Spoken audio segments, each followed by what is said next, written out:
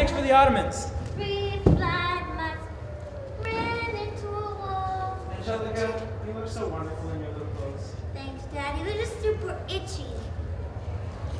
Oh, uh, Oh, Virginia, are you okay? yeah, don't worry about it. What would I ever do without you, Bobby? Oh, I don't know. Everything is just so good right now. You're right. Everything's perfect. It's my birthday. We're getting married tomorrow. You're pregnant. I finally got platinum on Dead Island last night. Angelica just passed grade four, and I'm in the midst of getting a promotion. Man, life is as good as it's ever been. I sure hope nothing goes wrong.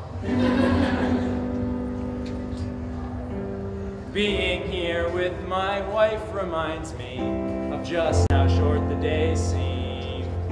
Cause something can go along without fail, and then all seem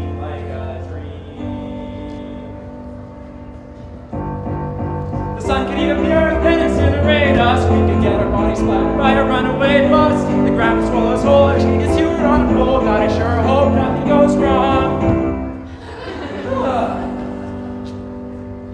Starting a family was always my plan. Even more with my beautiful wife.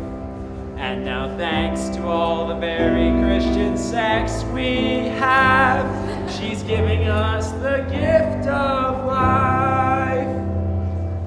But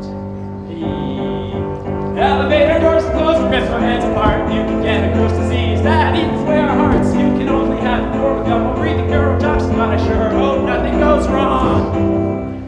While I was getting coffee, someone could sneak up all calmly while I'm feeling rather comfy, and it might just be a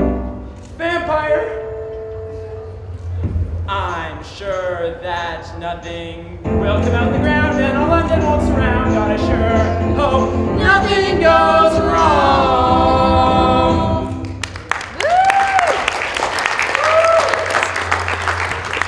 I'm sure everything will be just fine, Bobby. Don't you worry your sweet little head about it. You're right, Virginia. I love you so much. In fact, if some crazed cannibal ever tried to kill you, I'd definitely let him eat me instead.